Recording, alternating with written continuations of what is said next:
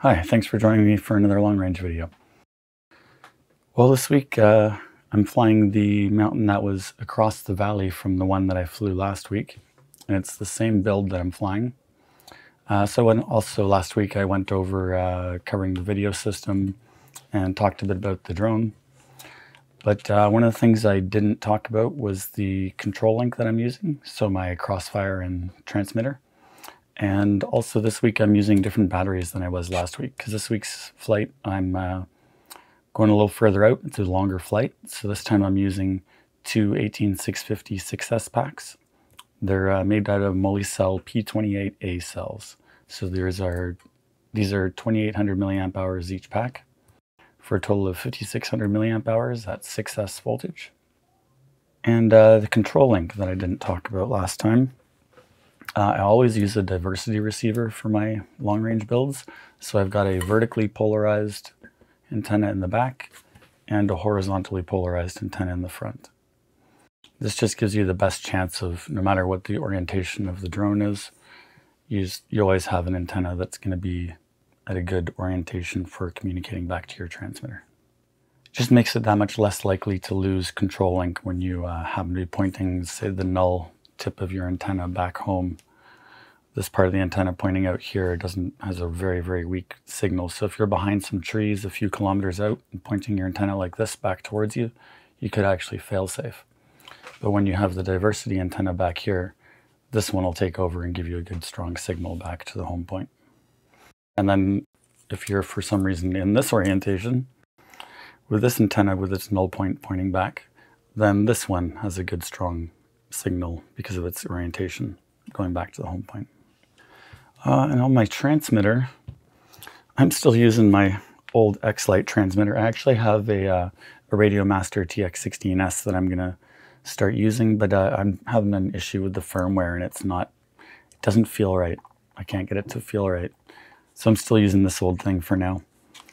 And it's got a TrueRC TrueMox 915 antenna on it.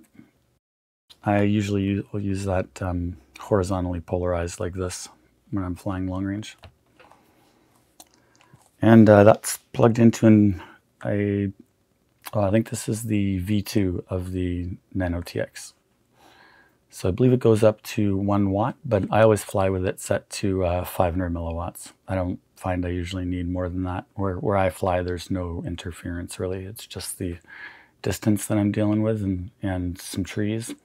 So 500 milliwatts is, is plenty for, for how I fly or where I fly. Well, that's enough about gear for now. Let's get on to the long range footage and I'll uh, do some more talking after the flight gets started.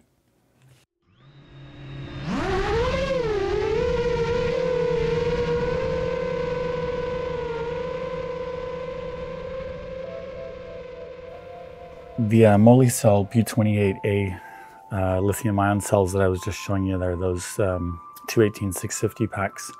These are my favorite batteries to fly long range with. They're uh, 2800 milliamp hours for each pack, so the two of them together is 5600 milliamp hours. Uh, I find I can usually get a good about 5000 milliamp hours out of it, which that's usually enough to do most uh, most long range flights that I'm that I end up coming across. They're, uh, they're definitely lighter than using two of the 21700 packs. And uh, I think you definitely got more, uh, more amp draw performance or whatever you want to call it. You can pull more current from two of these than you can from one 5000 milliamp hour 21700 pack. So I think these, these give me enough, uh, enough current to be able to uh, fight my way out of a strong wind if I happen to come across it and it gives you enough power to pull out of a dive without being too heavy. It's kind of the, the perfect sort of sweet spot for a, for a long range FPV battery. I actually just got some uh, Molicel P28B cells, which are pretty much the same as the P28As, except they I think they handle the cold a little bit better, and they also put out a few more amps as well. So I'm looking forward to uh, making those packs and seeing how those fly. I might possibly do a video about that. I'm not sure yet. We'll see how, uh, how my spare time goes over the holidays. I really love flying uh, mountains like this, just going up the uh, these gullies or following the waterfalls, doing it at, at like eye level. So it's almost like you're hiking up, but really fast. This is one of my favorite parts of the flying long range FPV is just going and exploring up these different gullies and valleys up into the mountains. Here, this part, you can see I'm staying up higher in the air here. That's because uh, this ridge on the left that we're passing by cuts in front of my line of sight, so I have to get a little higher up there to be able to keep video clear through it. And I think I managed to get back down low again here soon. Yeah, or far enough away from that high part of that ridge back there and get back down now. So same as all my flights, I'm, uh, I'm flying at 800 milliwatts here uh, for my VTX as far as, you know, when I'm flying on analog.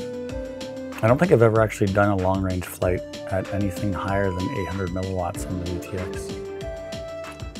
Uh, which brings to mind that uh, JetRC just asked me if I wanted to uh, try out their new, how do I pronounce it, Meten uh, VTX. It goes up to 2.5 watts. I'm not sure I really need a whole bunch extra wattage on my, uh, on my VTX, but I don't know, it might be nice for some of those flights where I get in behind trees and the video starts getting a little bit patchy. The extra power might punch through the trees and help me get a bit clearer of a signal for some of those flights. So I'm going to give this uh, 2.5 watt Meten uh, VTX from JetRC a try on my uh, Rad Li-ion build. Take it far out and get behind some trees or something and, uh, and see how this thing does. It's got a, a, little mini fan on it and stuff for cooling, so it looks interesting. We'll uh, see how things go with that.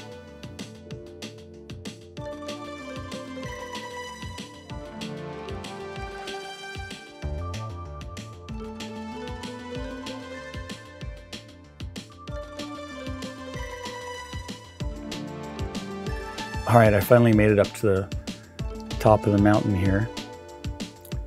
But now at this part, I'm I'm trying to figure out which gully I wanted to fly down from the top. And I, I think this one here I'm looking at looks really cool. But now I'm turning back and checking and I don't think I have proper uh, line of sight to be able to get up in that side of it.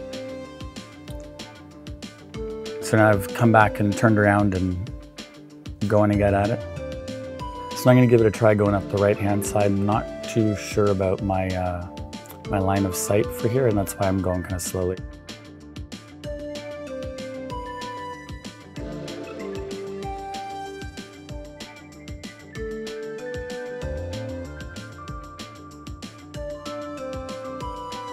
Oh, there, you can see I, bailed out pretty quick. Yeah, the line of sight didn't work out on uh, that side, so going over to the left side now, and uh, this one I, I, think is the one I end up having some good, some good clear view as I go up, or good clear uh, video as I go up.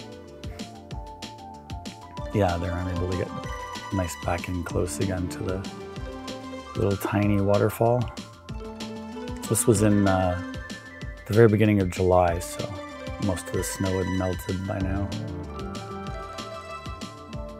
This is actually from a, a long, a two week long kind of road trip that I took in the summer where I did just a whole bunch of long range flights. And uh, I've got so much footage left over from this. There's, I can make videos all winter now with this, with this amazing footage that I got over the summer. And I think this is the last final bit of the ascent up the mountain here. Oh yeah, there's a cool, uh, cool gully going up the side. Try that. But I think if I remember right, yeah, the video didn't work out going up there, that gully, that the rock outcropping on the right there was taking the video out. So I decided to just uh, take it straight on and uh, fly right up the face of the cliff here.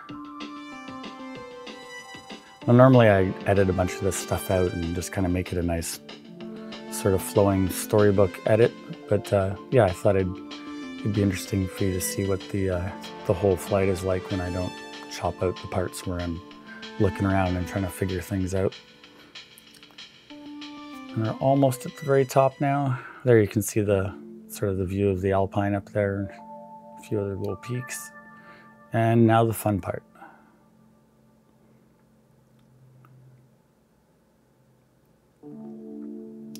Trying to get in as close as I uh, feel safe doing at this rate of speed when video could get a little patchy every at some random point. And it sure goes a whole lot faster going down than it does going up. I mean, I could fly faster going up, but I like going sort of slow and checking everything out. And then doing the opposite and just ripping down fast for the way back. And here's where I have to get up in the air again a little bit. I don't, I can't get down behind that uh, ridge on the right that I'm just passing by. There we go. Now I can get back in tighter again and still have good view. Wow, and that's that's almost the whole mountain already. That took no time at all to fly back down. That's probably uh, you know roughly 90 kilometers an hour, give or take 10 kilometers an hour for that whole way down. Because of course it's downhill, such a steep downhill that uh, it really doesn't take much from the battery. The battery is really more just uh, helping control and steer, and gravity's doing a lot of the work for the speed. And we are uh, heading back home. This is where I parked, just on the side of the road here to uh, fly up this mountain. And then this gully we're looking at right there, that was, that was where last week's video was. I think I can take another look up there. Yeah, that's that's where last week's video was. It was up that gully. And uh, that's it. Just coming back in for a, uh, for a landing now. It really doesn't come across quite the same in the GoPro, but it's it's I just find it so much fun and it's so interesting just going and exploring up up you know whatever mountain you think looks interesting checking out the gullies and the, the waterfalls. It's always so beautiful when you get in close and, and look around at everything. All right, well, that's it for that one. Thanks for joining me for the video. I'll see you again next time.